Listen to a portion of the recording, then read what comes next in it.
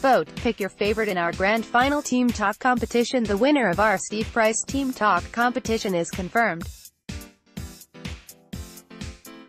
Supporters came forward in their droves to suggest, if they were the Warrington Wolves head coach, what would be the last thing they'd say to the players before they walk out for the grand final at Old Trafford against Wigan Warriors on Saturday. Such has been the response. We asked supporters to decide on the winning entry from a short list of four via polls run on the websites of Warrington Guardian and Warrington Wolves. The polls closed at 4 p.m. and we can now reveal the combined scores from the polls confirm that Dallam 7-year-old Bethany Nicholas is the winner. Lucky Bethany will be able to watch Wire's final training session on Friday, have breakfast with the players after that session and will receive two tickets to Saturday's grand final.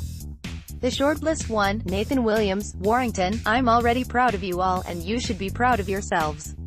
Now let's make them proud. Every man, every woman, every child from our great town. Let's make history. 2. Bethany Nicholas. 7. Dallam. Work hard, work together, smash the pies, it's now or never. 3. Matt Hopwood. Warrington. All of our hard work comes down to this, we have 80 minutes left to go. We all know the plan, stick to it and bring it home, but above all, let's enjoy ourselves. Wigan aren't going to give this to us, this is going to be a real scrap, we know that.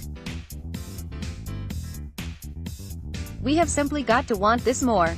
From 1 to 17 we need a performance out there. Forget last week, this is about now and these next 80 minutes. All blood, sweat and tears you've shed for the man sitting next to you all year has been for this.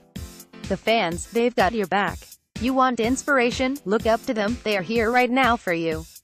The atmosphere is going to. Immense out there, slap it up. You've earned this, now let's finish what we started and get the job done. Bring it home boys, for Aaron Gallagher, Wigan, Wire fan, win, lose or draw look how far we have come these last 12 months.